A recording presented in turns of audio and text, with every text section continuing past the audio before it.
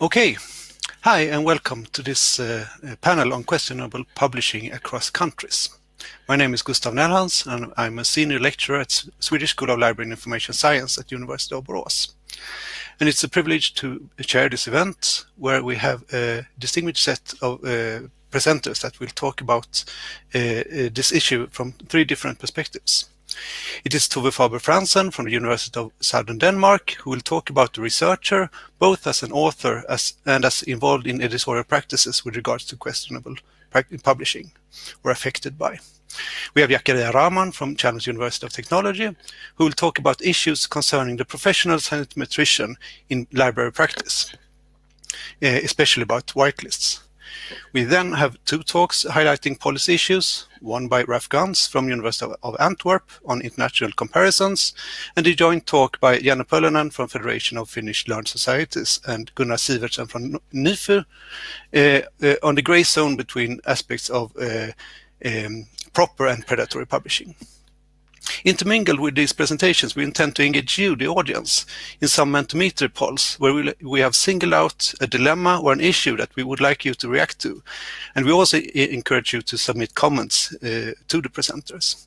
In the end, then, we will try to summarize the discussions in light of, of the comments received. Of course, time is quite scarce, so we might not have time to discuss them all, but maybe we will be able to come back in some other forum with some of the uh, issues that will be brought up here. And of course, this is a very broad issue in many ways. Yeah, uh, because uh, the, the, topic of questionable publishing with regards to scientometrics is a very topical one.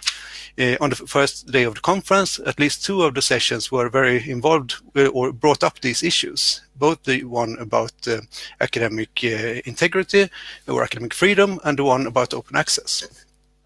And not least, uh, the last week's attention in the scientometric community uh, showed uh, the broad relevance uh, since one of the field's journals, Scientometrics, recently retracted an article after representatives from a publisher accused it of potential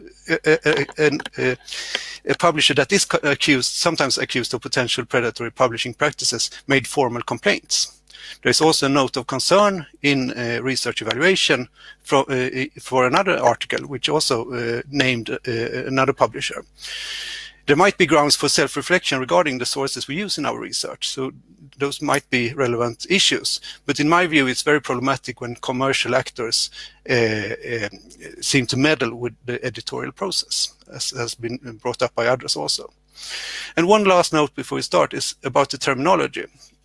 I often use the term questionable publishing, both because, uh, as we will see in the following presentations, there is not a, uh, always a clear sense of who is actually the predator and who is the actual prey, meaning that there are many different reasons for questionable publishing to occur, in my view.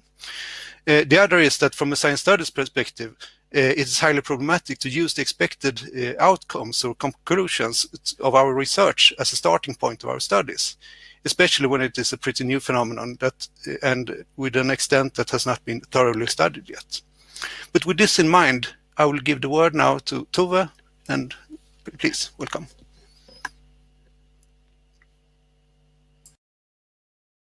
Thank you, Gustaf. Um, I'm going to present some researcher perspectives on um, questionable publishing.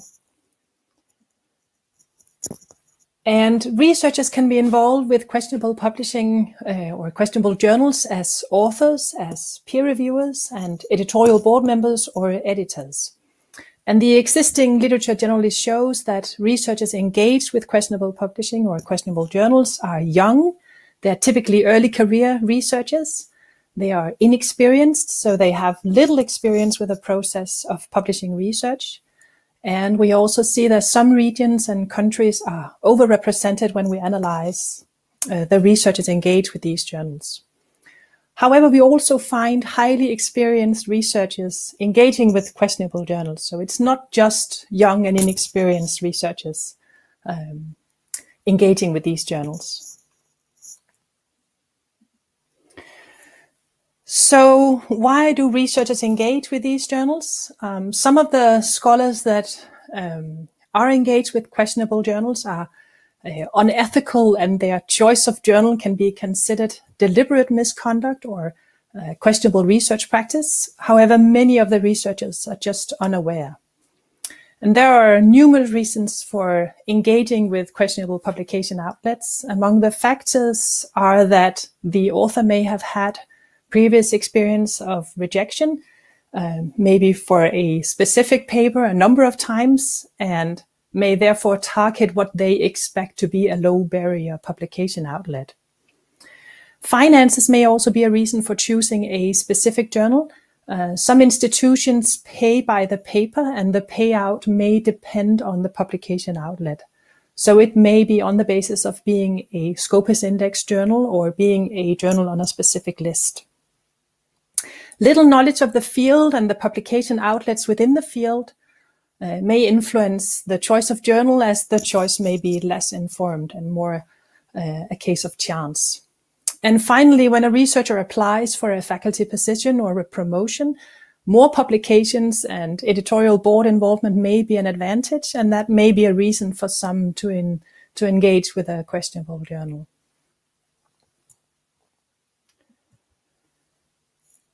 It has been claimed that fast tracking promotion by the use of questionable publication outlets is an increasing problem as scholars see the strategy working well for their colleagues and they would also like to fast track their career. So the problem in that sense would be spreading. The term zombie professor has been used to characterize a professorship achieved without proper academic merit. So that you build a career primarily on publications in questionable journals. We have little knowledge of the number of these so-called zombie professors. The majority of researchers may just be unaware and their paper is not necessarily questionable in any way.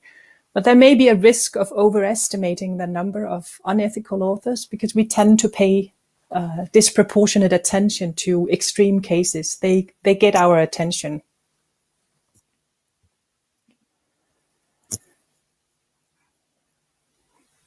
I'll now take you through a um, an example of uh, researchers engaged in questionable journals. It's a recent study of reviewers, and the study finds that very few scholars submitted reviews predominantly or exclusively for questionable journals. So most scholars in this study submitted reviews for uh, never submitted reviews for questionable journals. So that's 90% of the authors or the reviewers in the study. Few scholars reviewed occasionally or rarely, so about 10%. And very few scholars submitted reviews predominantly or exclusively for questionable journals. Uh, in this case, less than 1% of the scholars reviewed for questionable journals in more than 75% of their reviews. So they um, predominantly or exclusively reviewed for questionable journals. So these shares are remarkably low. Uh, we should note, though, that the reviewers might be less likely to claim a review for a questionable or a low quality journal, and this would lead to underestimated shares of questionable reviews in the in the analysis. We now turn our attention to the authors of publication in questionable journals, and we find that very few scholars publish predominantly or exclusively in questionable journals. So if we start with the authors that predominantly publish in questionable journals, we find that 3% of the authors with two or more publications in a questionable journal publish 75% or more of their publications in questionable journals. And to look for some of the more extreme cases, uh, we find 54 authors that publish 10 or more articles uh, or reviews in questionable journals, and they publish 75% or more of their entire um, publication uh, publications in questionable journals. So if we now look at the authors that exclusively publish in questionable journals, then we find 2.6% of authors with two or more publications in questionable journals that publish exclusively in questionable journals. And again, looking for the more extreme cases, uh, 21 authors published 10 or more articles or reviews in questionable journals, and they publish exclusively in these journals. So considering that the total number of unique authors in the study is over 170,000, there seems to be relatively few authors specifically targeting these journals to fast track a promotion or to build a career. But again, the shares of questionable publications may be underestimated because in this case, local questionable publication outlets uh, are not included. And summing up, uh, it may not be a widespread problem that researchers target questionable journals systematically to build a career. However, it is a recurrent theme of interest and debate in the discussion of publishing through these publication outlets, how these publications are affecting the scientific literature and the scientific community as a whole. So questionable journals have been accused of threatening the academic integrity as well as threatening the um, the research publication as such. Um, publications in questionable journals are characterized typically by a lower study and reporting quality, but the extent of the problem is debated. A recent review of the literature suggests that publishing decisions should be understood situated within a system of incentives, pressures, and expectations so if authors are pressured or expected to publish in a certain set of journals and they are given the incentives to do so, uh, we would expect to see more publications in these journals. So therefore, from a researcher perspective, it is important to consider expectations and more specifically pressures and incentives when addressing the issue of questionable journals. Thank you.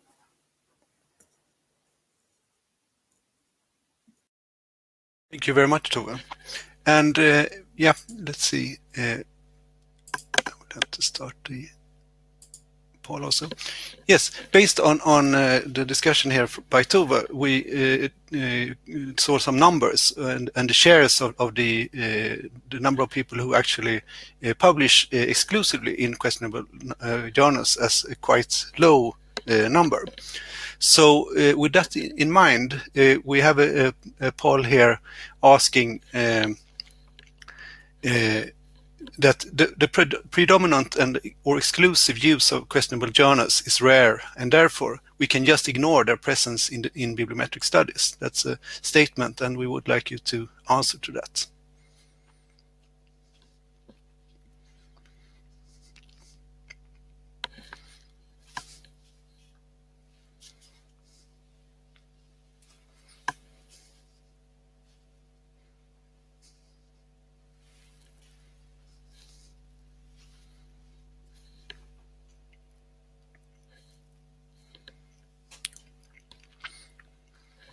Yes, thank you. Uh, and without further ado, I, I uh, show you the result here. here. And uh, well, uh, can I ask you, Tove, uh, what do you think about the, the results here? There is a quite large share of, uh, responses here about the disagree answer.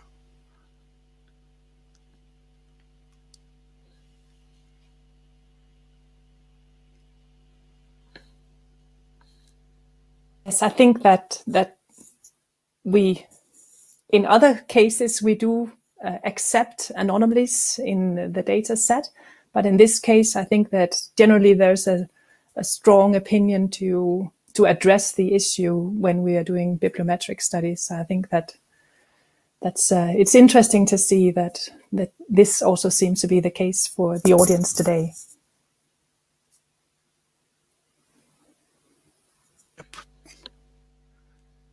Thank you very much, Tove. And please, if there are any questions, you can submit them and we will bring them to the discussion uh, in the end. But I will st stop here. Let's see.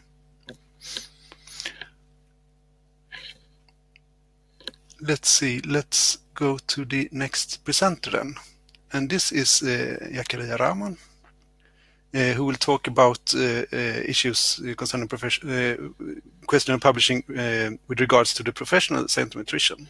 So please. Hello, everyone. Uh, my name is Jakaria Rahman. I am working as a bibliometric analyst at the University, Chalmers University of Technology.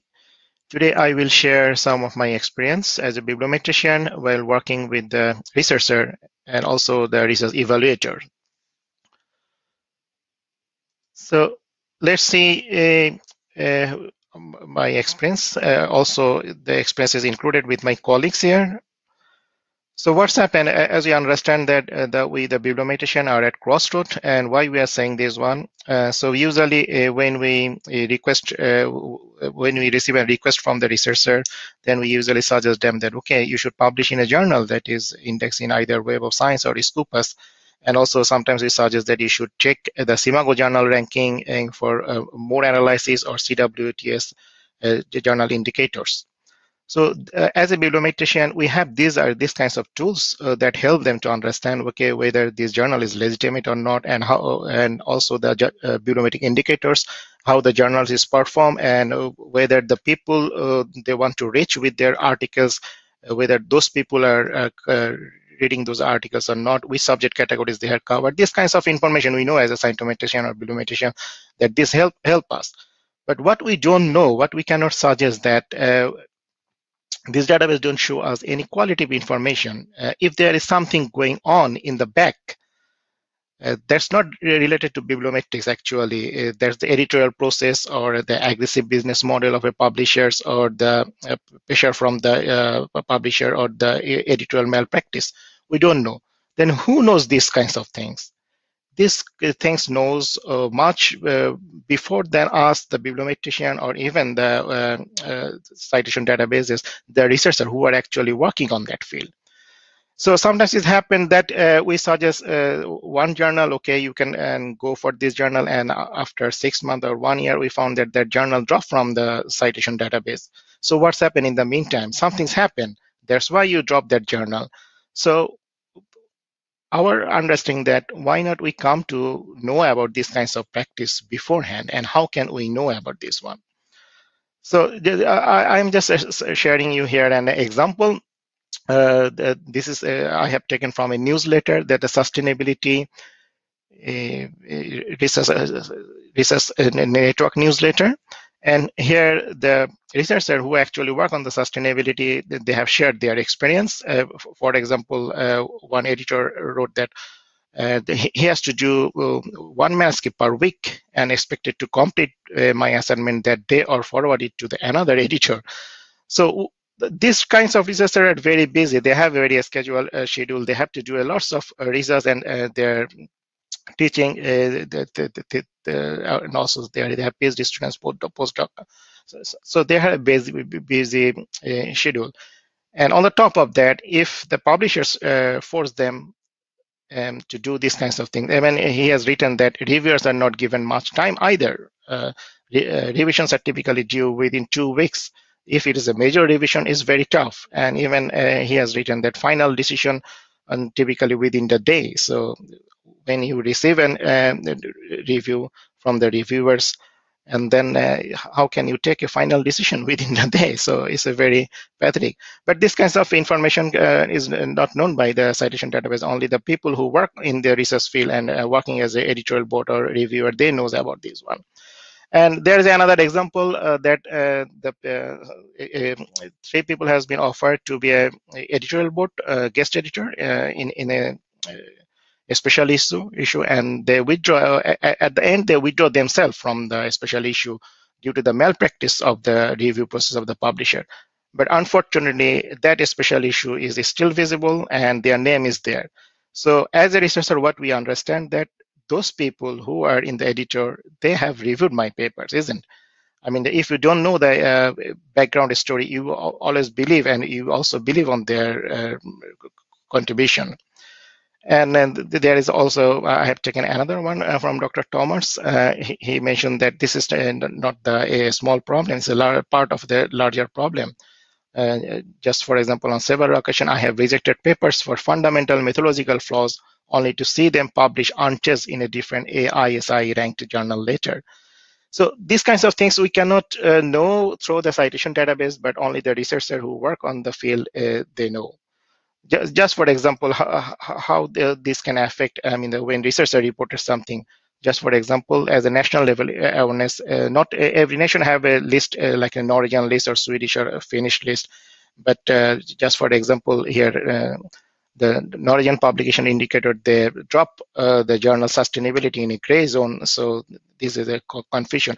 But if you look on the citation databases, this journal is still uh, uh, performing good in uh, both the Scopus and Web of Science. If you look on CWTS uh, journal indicators or SCImago journal ranking, these are still fine but the question is that uh, only the some um, countries or some um, people know about this one these kinds of lists and not everyone is following this one. So our concern is that what to do for the uh, bigger advantage i mean for, for the uh, all the countries because we are heavily depends on these citation databases and also another case that there is a misperception grows in research uh, when there is a research evaluation, we need to work as a bibliometrician with the uh, research evaluator. Uh, then somebody come with this uh, DORA principle, then comes that, okay, the need of element the use of journal-based uh, metrics, there is no need. Uh, so what's the difference? What's the difference if you don't use the journal metrics? How can you make a difference between paid and non-paid journals? And also the, the, they show us that, okay, the you, you should assess our article uh, and the quality of the article, not the where we have published. so this gives a sense of the needless of following the blacklist or whitelist of journal and forking the gray journal. So these are the things happening. Uh, so when we are in communication with the researcher, we come to know about these kinds of things uh, much earlier, uh, but uh, we cannot do actually anything still we are suggesting that okay you you need to be a little bit aware about this one and uh, follow your community what the other researchers are doing. Talk to your research group talk to your supervisor like these kinds of things. So at the end, uh, I would like to uh, send some suggestions that uh, we understand that the citation databases are already contaminated because sometimes we found that some journals dropped uh, from the, the, databases, but it has also already performed for five or six years very good and then drop. So there is some reasons behind it, but we only knows when some journals are dropped from there. so we have responsibility as a bibliometrician, as a citation database, and also the researcher, they have uh, their responsibility. So we suggest that the researcher should raise their voice uh, and try to stop sending their research to the, the gray journal or predatory journals and stop uh, step down as a review or editorial board member and uh, announce it. Now we, we are in Web 2.0, we have social media, you can announce it very easily. And also the citation database should allow open and feedback from the researcher uh, uh, about an index journal. So as a researcher, uh, you have an uh, uh, Scopus author ID or Web of Science uh, researcher ID. So when the citation database believe you as a researcher based on your research, so they have to believe on you based on your uh, that if you put something, uh, some complaint about the uh, practice of that publisher of the journal or malpractice, then they have to believe it and they have to consider these kinds of information on uh, for evaluating the journals. And the journal selection panel of the citation database should consider relevant researcher feedback before and after indexing a journal. And there is a much bigger issue that uh, the research evaluator organization should agree on acceptable bibliometric indicators for journals. And it, it should be acceptable for, for, all the countries, not in a very specific cases. I mean, the one country follow one indicators and another countries follow another indicators. Uh, so this create a problem. So that's my presentation. If you have any question, please uh, let us know. And thank you very much. Thank you very much, uh, Uh, and we will start uh, a poll here. It will take a couple of seconds until you see it. Uh, so with regards to, to, public mandates, such as the San Francisco Declaration, the DORA, for example, they might come into conflict with using blacklists or, or whitelists. And, and of course, there, there's an issue then uh, with with, uh, with uh, combining these different mandates that that, that there are. It is also an issue with how, yeah, let's let's go to the actual question instead here. So the question then is: you should not use journal quality as an indicator uh, of article quality uh, in light of questionable publishing for the reasons of, for example, DORA issue.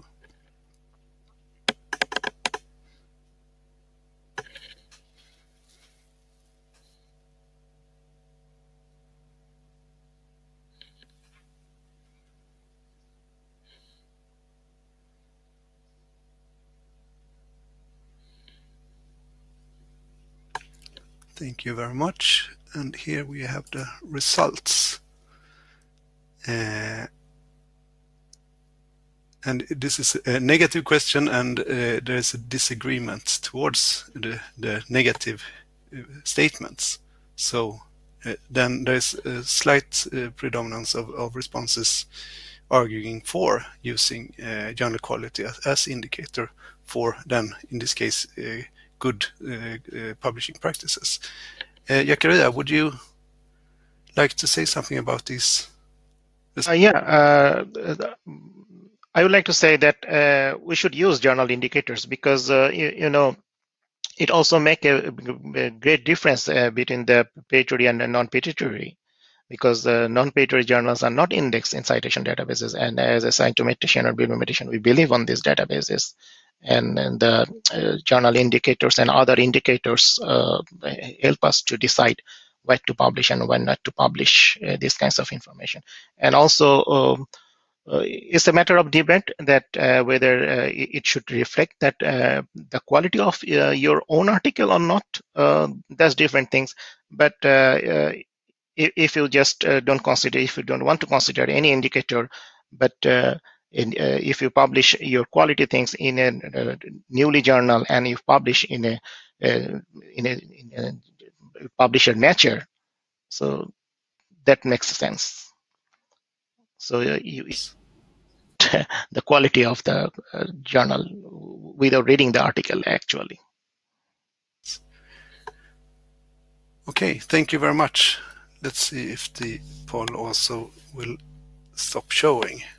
There's a brief lag here in the system which I need to take into account when I moderate this.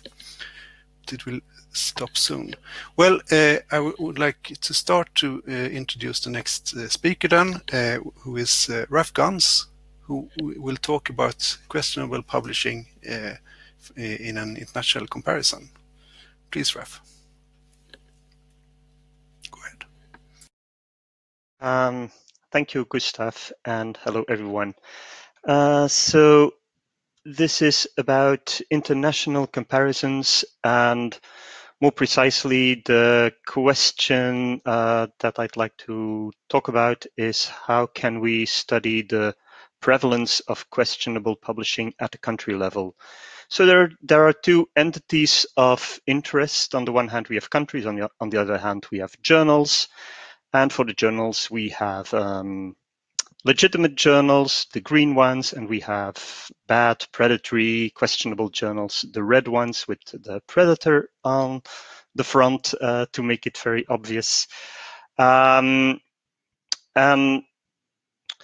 I think there are basically two ways or two perspectives by which we can study this. Um, and most studies take a journal first perspective where we start from a list or a set of questionable journals and then look at the distribution of countries therein. That's what I call a journal first perspective. But there's also another kind of study possible where we start from publication data in a country or in multiple countries and look at the distribution of journals within that country.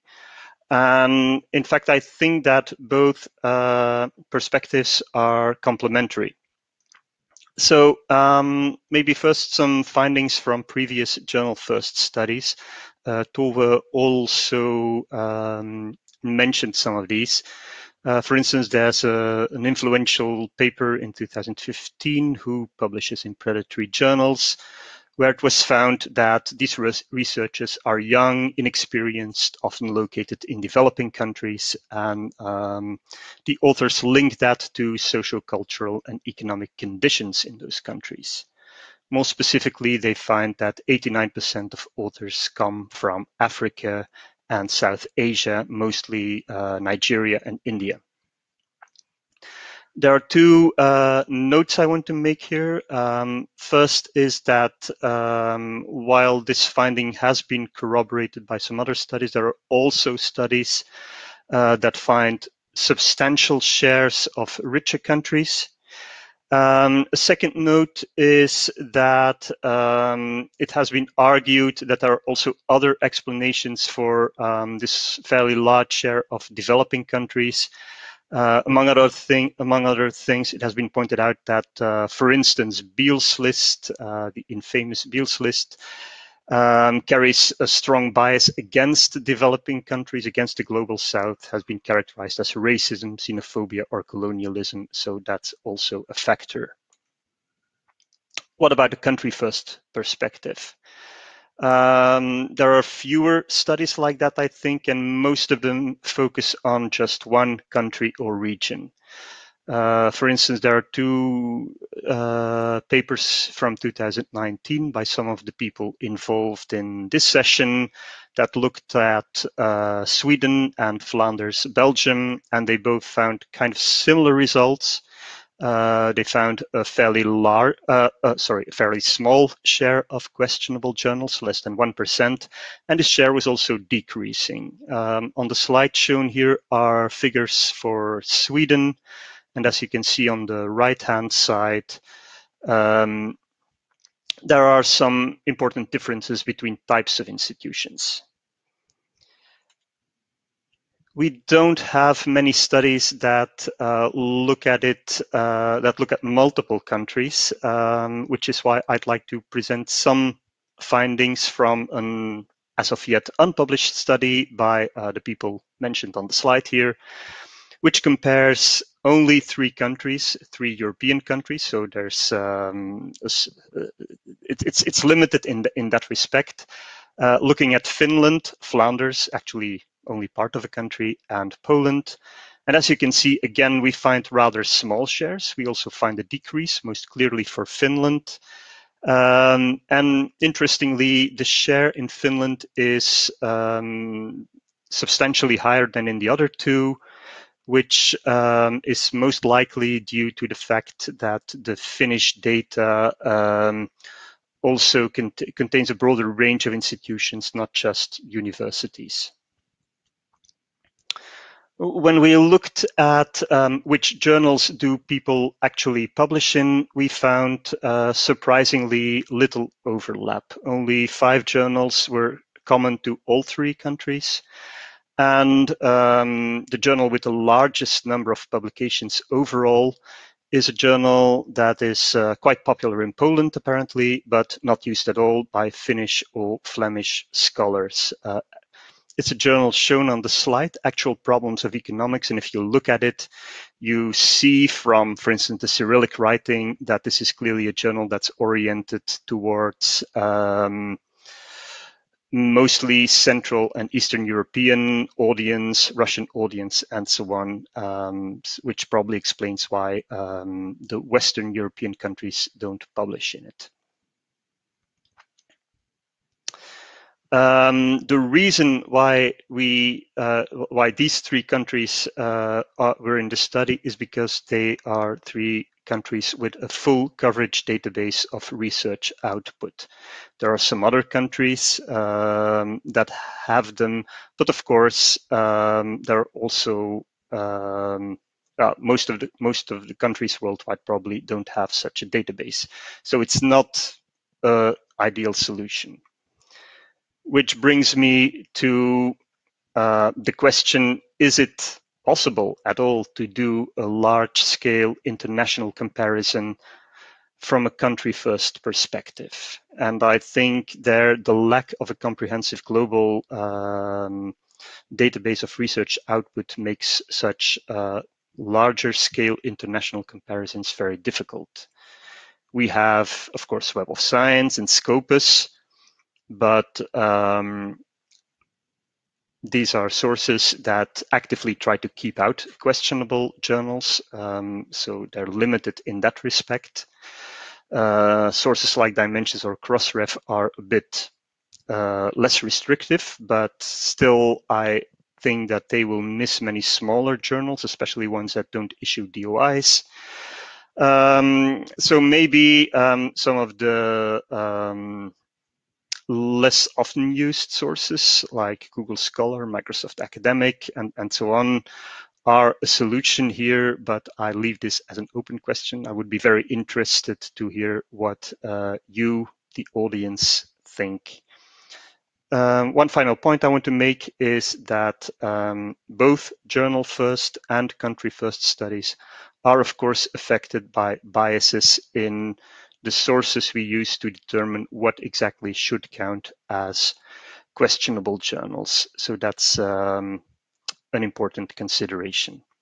I'll stop here. Thank you.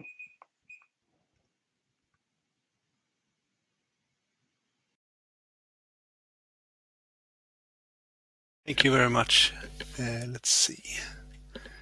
Uh, well, uh, we have a, a, poll question also for your talk.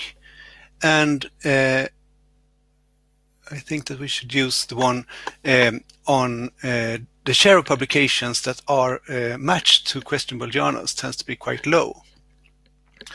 Um, and uh, of course, uh, as has been stated already, this might be because we use uh, sources or blacklists and, that are quite restrictive, or some might say the otherwise, otherwise, of course, but they are clearly not complete. We don't know exactly which journals actually are are there exactly, and therefore it's a bit hard to uh, give these estimates. But we can see some kind of, of, of uh, uh development also. So the question is, could uh, does con continuous monitoring and active dissuasion uh, are necessary to keep the share of questionable publishing under control? Do you agree with this, or do you disagree?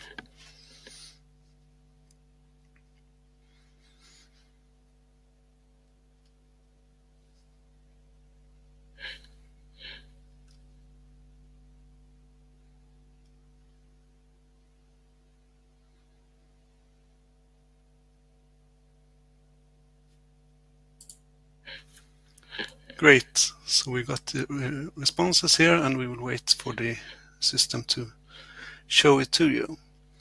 But uh, well, there's a strong inclination towards uh, stating that there is uh, a need to uh, uh, control monitoring and keep dissuade from using this kind of, of publishing. Let's see if, if it comes up here. Yeah, here it comes.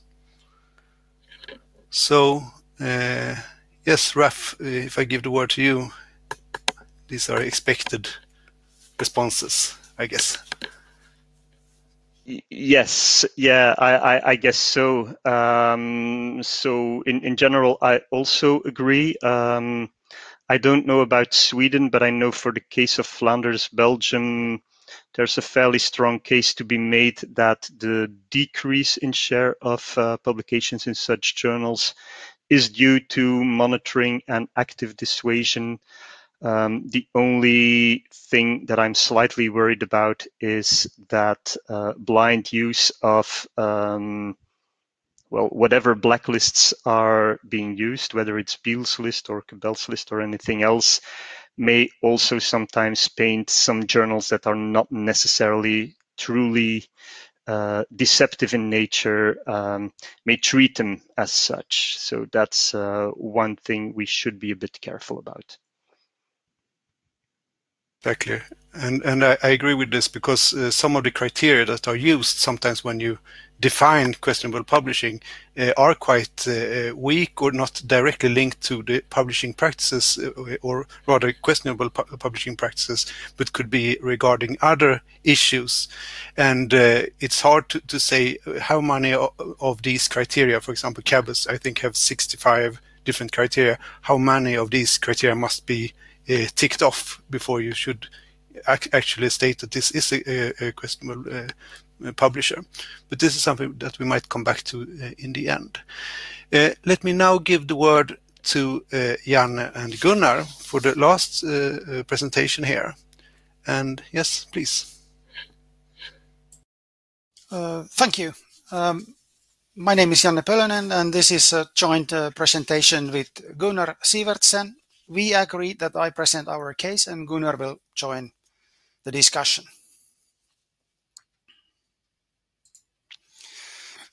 According to 2018 report by International Association of Scientific, Technical and Medical Publishers, there could be 70,000 academic scholarly journals in the world. And at one end of this wide spectrum are journals recognized in the scientific communities for having a strong and reliable uh, editorial and peer review standards and practices. At the other end are journals with no or weak or deceptive peer review, however defined. And between these extremes, there also exists a gray zone of journals whose peer review status is ambiguous in the sense that they exhibit uh, both reliable and questionable practices. The so-called questionable or predatory journals take advantage of the APC-based open access publishing model, claiming but failing to practice proper scientific quality control by experts in the field. Uh, while there is no universally agreed definition of questionable journal, whitelists and blacklists, as referred to in previous discussions already many times, have been relied on to steer researchers and evaluators between properly peer-reviewed journals and those failing the expected standards of academic rigor. Examples of international whitelists include, of course, DOAJ, the Directory of Open Access Journals, as well as the lists of Web of Science and Scopus Index journals. In some countries, including Denmark, Finland and Norway, also national authority lists developed to support performance-based research funding systems uh, have served the purpose of whitelists. Uh, on the other side, of course, there is the infamous Beall's list, which, which is now defunct and source of the Scientometrics retraction case. The most uh, well-known international blacklist remaining is the Cabell's uh, predatory reports, uh, which checks journals based on more than 70 different uh, criteria. We can also mention that also DOAJ has made available a list of journals removed on the grounds of suspected uh, editorial misconduct, but this of course is not meant to be used as a blacklist.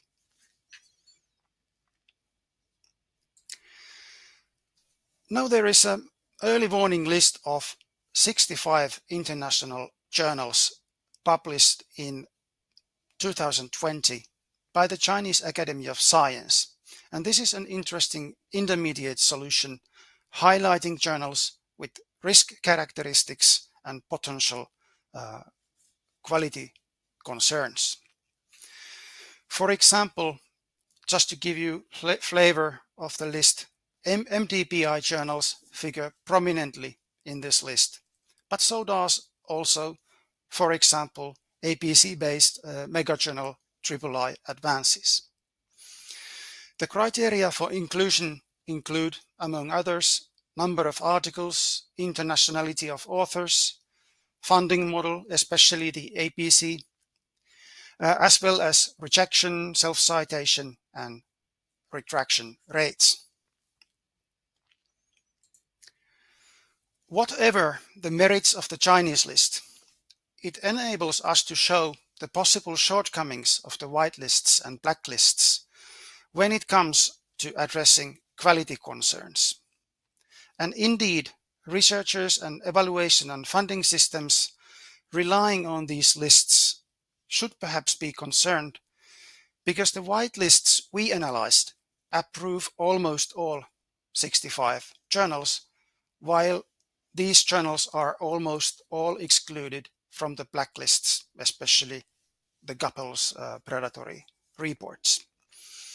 We may also notice that some of the uh, journals are even included among the leading titles in the Nordic lists, one journal in Finland and four journals in Denmark.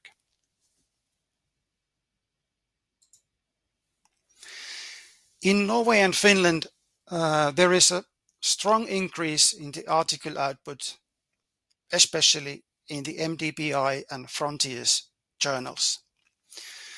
This development is undoubtedly great for open access, but it is also fair to ask if this increase at national level in the quantity takes place at the expense of quality. And is this a healthy development from the perspective of the open access costs and spending of public funds? Uh, to sum up, our main point is that the whitelists and blacklists are typically based on quite formal and technical criteria, which may not be able to sufficiently capture some of the quality concerns, such as raised, for example, by the Chinese list. In Denmark and Finland, for example, panels of experts are involved in the approval of journals to the authority lists. We call this approved, level one. However, the experts may take an overtly cautious approach to handling of the gray zone journals because the lists are connected to national funding schemes. So there may be a strategy involved.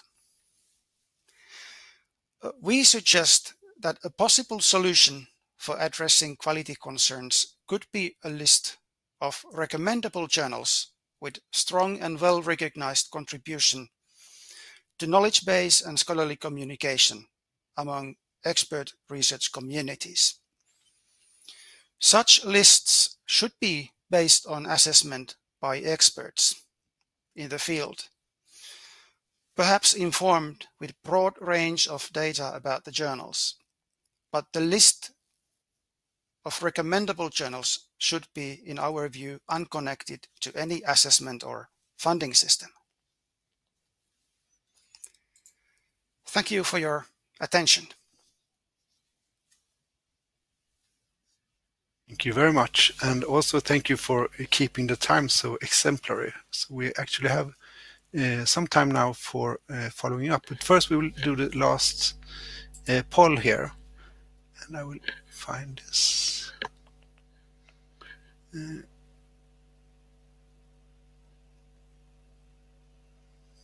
let's see.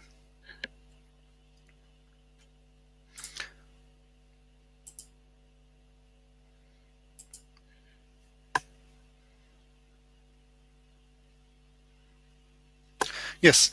Well, uh, there are criteria for, for putting uh, journals or publishers in these whitelists and, and blacklists. And uh, knowing these, of course, uh, publishers can then uh, use uh, the, the, knowledge about the, these criteria to tailor their journals. And researchers can also base their choices of, of journals based on what kind of journals these are.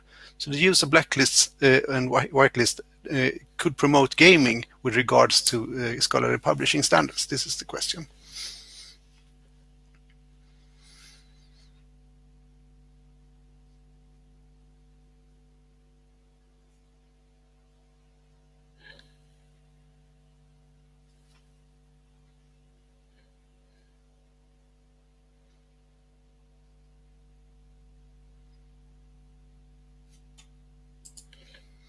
Well, Thank you very much.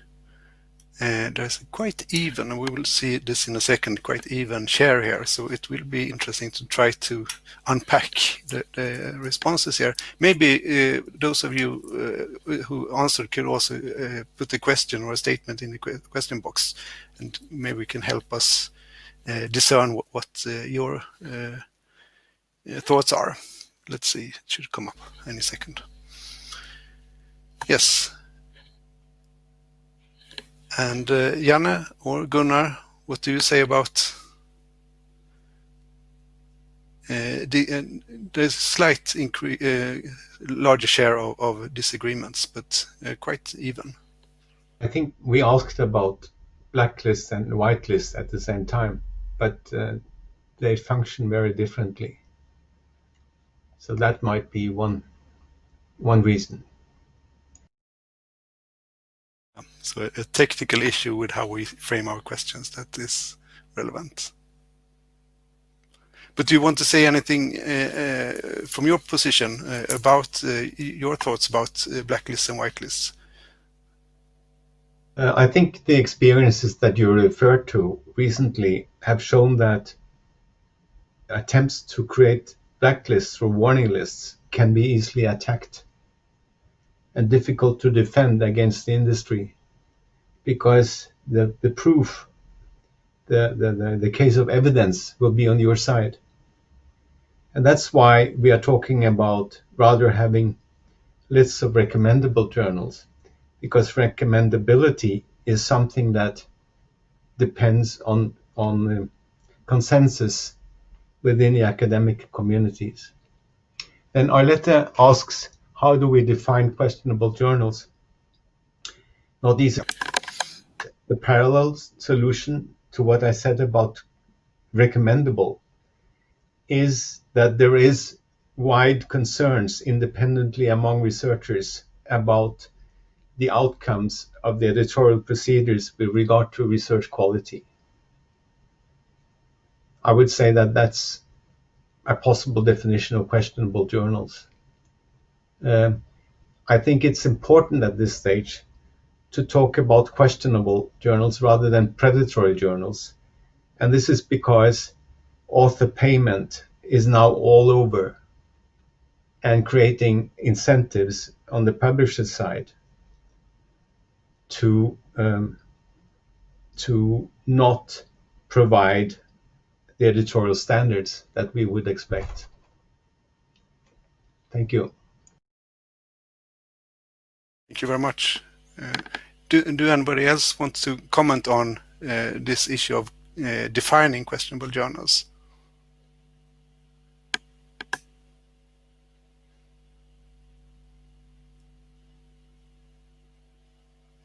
No. I can continue. Sure.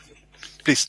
Yes, I know. I know uh, from the experience of working uh, now almost 10 years with the expert panels in Finland across all fields that this is also a difficult question for the expert panelists, and they uh, they also have sometimes hard time to to deciding on on how to treat uh, some uh, gray zone journals, um, especially because typically they may not have themselves any publishing or editorial or peer review experiences from those journals.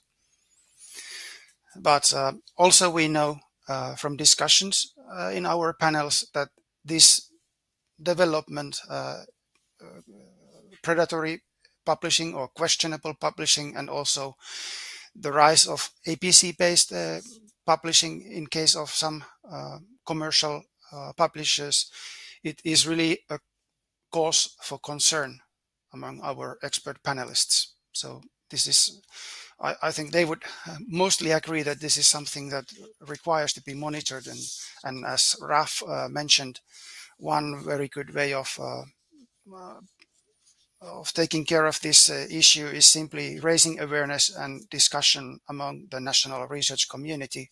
Why not also in the international research community about the question, what is questionable, what is not?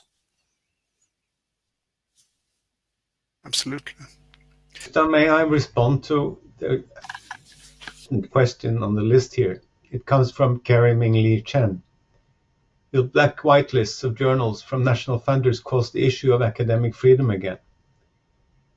It's important because, and this is why we said the, the, the, the, the lists of recommendable journals cannot be connected to an evaluation and funding system. We, we try to return to the situation where a sen- senior researcher recommends journals for the junior researcher. So this, this act of recommending should be preserved within academia. And these, uh, these joint Nordic lists of recommendable journals, they should not try to include all journals, but they should be just giving advice in this difficult situation. Um, and, and as I said, it's a kind of academic consensus uh, process.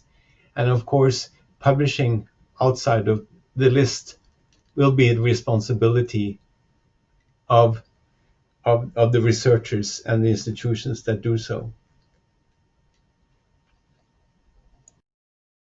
Thank you very much, Gunnar. I can also add that uh, I am also of that belief that rather than focusing on the specific uh, issues of using whitelists or blacklists, uh, it is uh, fostering good publi publishing practices, including um, uh, aligning with publishing with the broader ethos of, of the, uh, well, the Mertonian ethos of science, making science public and criticizing it and so on. And that these also making sure that publishing is not seen as something uh, apart from the full research process. Publishing is part actually of, of doing research. And then uh, we could help uh, minimizing the ways uh, publishing is used only as an, uh, system for, for, funding or for evaluating researchers, which might be problematic in many ways otherwise also. So um, I think that we as scientometricians can help by employing scientometric practice in, in uh, evaluation and policy discussions in a way that improves sustainable publishing practices and aligning, uh, making it more aligned with the actual research process that is uh, uh, published on, so to speak. Uh, yeah. Is there anybody else who wants to comment on this issue? See otherwise what what questions we have. Um, well, there is a, a, quite long question here, which says that there's a lot of focus on predatory publishers, but there are also big publishers, uh, more what we can call standard publishers, uh, that uh, uh can be uh, pseudoscientific or uh, um, have have um, questionable publishing practices, and there might be a wider uh, um, wider issues with what is published and not uh, being published that may or may not be included under the heading of questionable publishing. Uh, does anyone who wants to comment on this? I can do so. I, I, I regard the question of questionable editorial pro, um, procedures as more important than uh, identifying uh, journals with questionable science.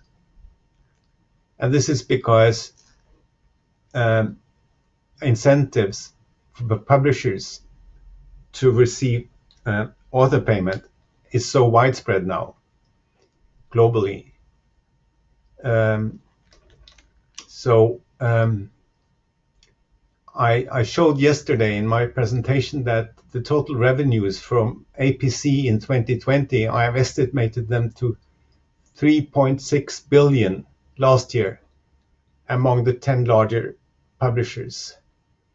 And some of those publishers that we have been discussing, critically in this session are part of, that list. And, and they are part of the good company, you know. Uh, so that's why I think predatory journals is becoming a kind of a, a, a term that we have to uh, leave because it's clear that all those small journals outside the good company are predatory or maybe it's you can see that. But the, the, the main industry now is taking over practices that might be just as questionable in the end so my answer is simply to Craig that I think uh, questionable publishing practice are now, at the time being, more important than the question of non-science journals.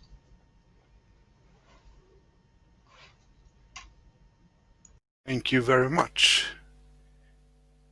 Is there anybody else who wants to give a comment? I think we have maybe one minute left if there is something. Mm, Yes, if I may. Um, I think that Jeffrey Beall did not do the research community um, uh, service when he focused with his lists to a large extent on publishers. Well, he also had a list of uh, standalone journals, but it's most he mostly focused on journals uh, uh, sorry, on publishers. And I'm not sure if that's the right uh, level we, we, we, should be looking at since um, especially a large public, some of the larger publishers, if you look at uh, their their portfolio, not all their journals are managed uh, in the same way, and the editorial processes are different. So I think it's perfectly possible that some publishers have both decent, uh, uh, well-edited journals as well as journals that um, are quite questionable. Um, so I agree with the poser of the question in, in the sense that um, just focusing on predatory publishers is probably um, yeah um, paint, paints a wrong picture. Thank you very much, Raf. And that will be the last words for this session. And we thank you very much, all of you who asked questions. And uh, we look forward to talking to you in other uh, situations also. Okay, bye.